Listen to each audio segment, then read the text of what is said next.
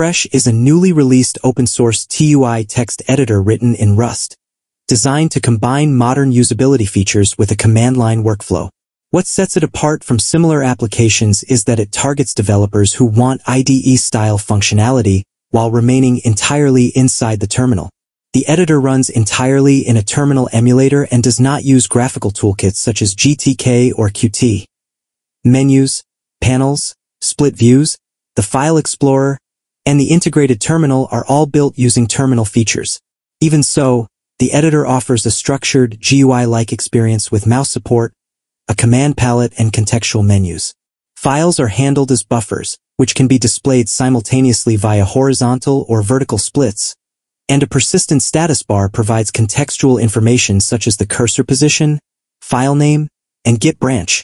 Editing features include multi-cursor support, advanced text selection modes, and unlimited undo and redo backed by a full edit history. Navigation is enhanced through position history and language server protocol integration, enabling go-to-definition and other code intelligence features commonly found in graphical editors. Fresh also includes a built-in file explorer that operates entirely within the TUI. It supports keyboard navigation, respects .gitignore rules by default, and allows files to be opened directly from the project tree without leaving the editor. A standout feature of Fresh is its built-in terminal emulator.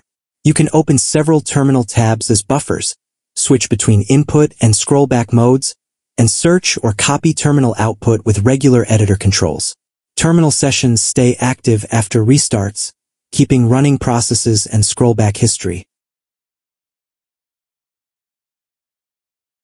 Native LSP support provides real-time diagnostics, code completion, and symbol navigation, while Fresh includes built-in language definitions for Rust, JavaScript, TypeScript, and Python, additional languages can be configured manually through a JSON-based configuration file.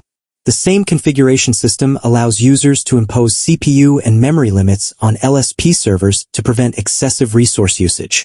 Extensibility is handled through a TypeScript plugin system. Fresh ships with several plugins enabled by default, including tools for highlighting to-do comments and performing Git-based searches. Additional plugins can be added manually, with platform-specific considerations documented for macOS installations. A dedicated Clangd Helper plugin is included for C and C++ workflows. Finally, configuration is centralized in a single config.json file stored in standard platform-specific locations, which controls editor behavior, themes, LSP settings, plugin behavior, and process limits. For more information, visit the project's website or refer to the user guide documentation. If you want to give it a try, the editor is cross-platform and officially supported on Linux, macOS, and Windows.